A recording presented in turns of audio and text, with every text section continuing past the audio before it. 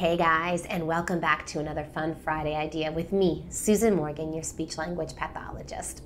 It's summertime, so we're gonna go ahead and make sure that you're getting outside by making some bubble wands today. They get you looking up, they get you looking down, they get you looking all around, they get your arms reaching and your body engaged with all sorts of great big motor movements. They also get you talking. You can't help but say pop when you pop those bubbles or stomp when you stomp them with your feet. Get your whole body involved. Reach those hands up high, stomp those feet down low, cover the world with bubbles, and then also try blowing just a few. What happens when there's just one? Uh oh, we need more. Again, use that flexible language, have some fun, and get messy. These bubble wands are a great fine motor activity as we're sliding those beads onto the pipe cleaner after we've twisted it together. You can even go ahead and try and make different shapes and see which shape makes better bubbles. I'm also going to be using some homemade bubble juice later, so I'll give you the recipe on my website, and you can try and do that too. All right, guys, let's go ahead and get started. All right, so making a pipe cleaner bubble wand doesn't take very many supplies. You probably have them in your craft drawer right now. I know I did. Some pipe cleaners and some beads. That's all it takes. First thing you want to do is go ahead, fold, start to fold your pipe cleaner in half.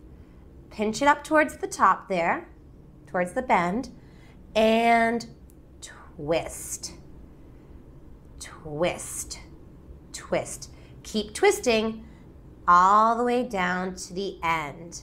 Again, this is a great pincer grasp activity where you're twist, twist, twist, twist, twisting.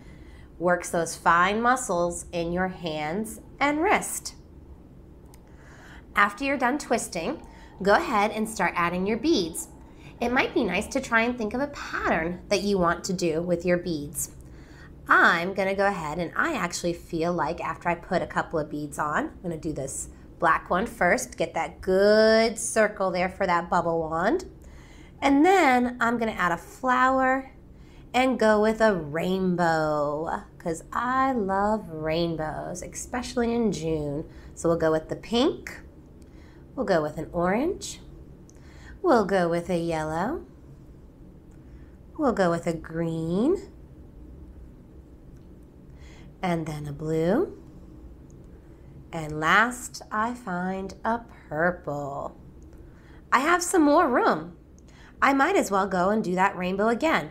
This time, I'm going to reverse the rainbow and change my pattern. Reverse the rainbow purple, and then we'll go with blue, green,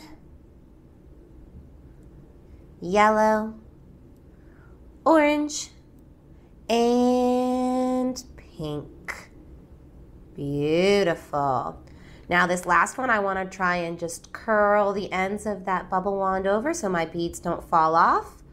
Curl, curl, curl. That might be a little sharp, just to give you a heads up, because it does have the wire there. So just be careful. And there we go. And we have a bubble wand. Now, if you want to get real tricky, I haven't tested this out, but maybe instead of a circle, we could do a different shape. Let's see if we can give that a try. Let's see, I'm to try for a star. Let's see if I can make a star.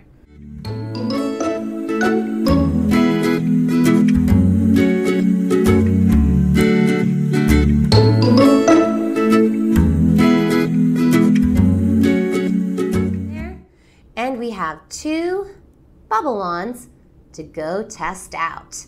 Which one do you think is going to work better, the circle or the star? Let's go find out. Here we are outside in the beautiful sun. Let's see how our bubbles work with our homemade bubble juice. Go ahead and dip it on in there. Tap some, oh, there goes one already. Tap some of the excess off. Pop, pop, pop.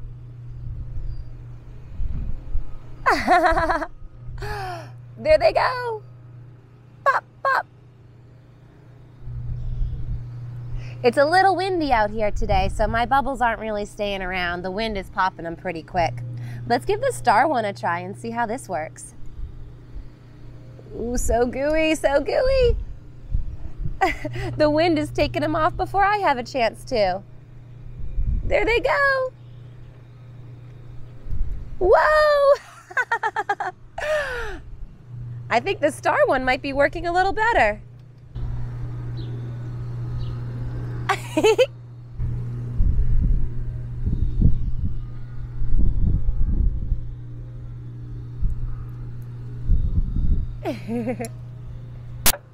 That was fun. Make sure you get out, have some fun this week, and I will see you next week.